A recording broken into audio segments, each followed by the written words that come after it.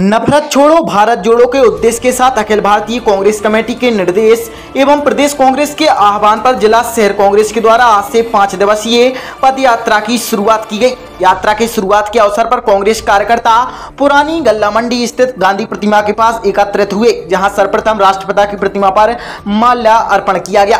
तदुपरांत सेवा दल की अगुवाई में उपस्थिति कांग्रेस कार्यकर्ताओं ने झंडा बंदन करते हुए सलामी दी। इस अवसर पर आयोजित यात्रा के उद्देश्य से शहर कांग्रेस की अध्यक्ष ने भी सभी को अवगत कराया और भाजपा सरकार पर राष्ट्रभाव की जागृति के नाम पर घर घर तिरंगा अभियान को लेकर कटाक्ष करते हुए निशाना साधा और राष्ट्र ध्वज को प्रचार एवं चुनाव की चीज़ न करार देते हुए सम्मान का प्रतीक करार दिया। उन्होंने इसके सम्मान के साथ भाजपा सरकार द्वारा खिलवाड़ करने का आरोप भी लगाया है। इसके बाद तीन तीन की लाइन में पंक्तिबद्ध होकर हाथों में तिरंगा झंडा, थम भारत माता के जयघोष के साथ कदम से कदम मिलाकर कांग्रेस कार्यकर्ताओं की पदयात्रा शुरू हुई, जो नेंगर के प्रमुख मार्गों से होती हुई तीन बत्ती गौर प्रतिमा पहुँचे संपन्न हुई। इस दौरान निकाली गई यात्रा का जगह जय पुष्प वर्षा के साथ स्वागत भी किया गया। आयोजित पद यात्रा में कांग्रेस के सभी विंग के पदाधिकारी, कार्यकर्ता, निर्वाचित पार्षद और उनके प्रतिनिधि और मेयर की प्रत्याशी रही। निधि सुनील जैन भी शामिल रही। ध्वजबंधन के इस कार्यक्रम में यहाँ पर उपस्थित सभी सम्मानित कांग्रेस परिवार के सदस्यगण, सागर शहर की जनता सम्मानीय हमारे सेवा दल के साथी और समस्त कांग्रेस परिवार।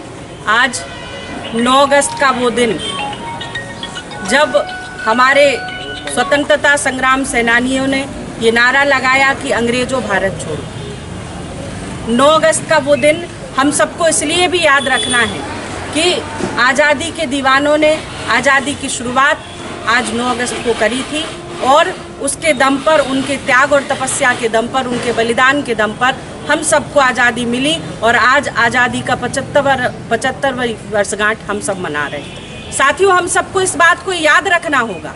ये तिरंगा ये तिरंगा सिर्फ़ ये तिरंगा नहीं है, ये तिरंगा हमारे देश की आन बान और शान है। ये हमारी शौर्य का प्रतीक है। ये हमारे राष्ट्र की एकता का प्रतीक है। ये हम सबके गर्व का प्रतीक है।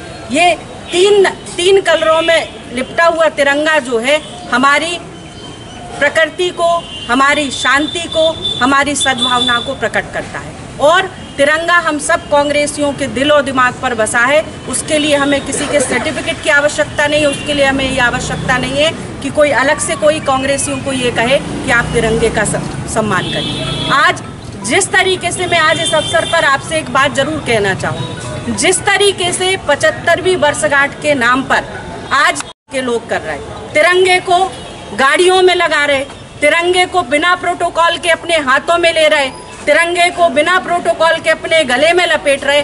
साथियों, तिरंगे का प्रोटोकॉल ये नहीं है। तिरंगा बड़े गर्व का प्रतीक है और जिस भी साथी के हाथ में तिरंगा होता है, उसको अंदर से कितने गर्व की अनुभूति होती है, वो वही महसूस कर सकता है, जिसने इस तिरंगे को बनाने का काम किया हो, जिसने इस तिरंगे को फहराने का काम किया हो, और जिसने आज़ादी दिलाने का काम किया हो। कांग्रेस पार्टी के पास वो इतिहास है, वो लोग हैं, वो स्वतंत्रता संग्राम सेनानी हैं, जिन्होंने इस देश को आज़ाद कराया, जिन्होंने इस तिरंगे की स्थापना की, और जिन्होंने 15 अगस्त उन्नीस सौ सैंतालीस को में लाल किले की प्राचीर से पंडित जवाहरलाल नेहरू ने अंग्रेज़ों का झंडा उतारकर तिरंगे को फहराने का काम किया है। ये इतिहास सिर्फ़ और सिर्फ़ कांग्रेसियों के पास है। और जिसके पास इतिहास है, उस इतिहास की वैल्यू, उसका सम्मान करने का काम भी हम सब कांग्रेसियों को करना होगा। आज 9 अगस्त के दिन हम सब तिरंगा यात्रा निकालकर पूरे सागर को, पूरे मध्य प्रदेश को और पूरे देश को इस बात का मैसेज देने का काम करेंगे कि तिरंगे को प्रोटोकॉल के साथ निकालना होगा, तिरंगे को पूरे सम्मान के साथ निकालना होगा। तिरंगा झंडा कोई प्रचार की वस्तु नहीं है, तिरंगा झंडा कोई चुनाव की वस्तु नहीं है। तिरंगा झंडा इस देश के सम्मान की चीज़ है और हम सबके दिलों से वो जुड़ा हुआ सम्मान है। आज इस अवसर पर मैं कांग्रेस परिवार के सभी सम्मानित साथियों से आह्वान करूँगी इस तिरंगे की आन बान शान को अखंड बनाए रखने का काम और बीड़ा उठाने का काम हम सबको करना होगा।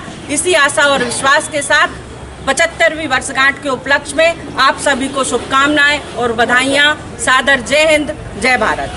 क्या प्रोग्राम रखा गया था? ये 9 अगस्त अगस्त क्रांति का दिवस है। भारत छोड़ो आंदोलन की से हुई। पूरा अगस्त का महीना ही हमारे लिए बहुत राष्ट्रीय दृष्टि से बहुत महत्वपूर्ण है। और गांधी जी जो ऊपर दिख रहे होंगे आपको, उनके दिशा निर्देश पर हम लोग काम करते हैं। और उन्होंने ही भारत छोड़ो आंदोलन की शुरुआत की 1942 से 1947 तक जब तक हमें स्वतंत्रता नहीं मिली, हम लड़ते रहे और अहिंसक दृष्टि से ये आंदोलन संपन्न हुआ।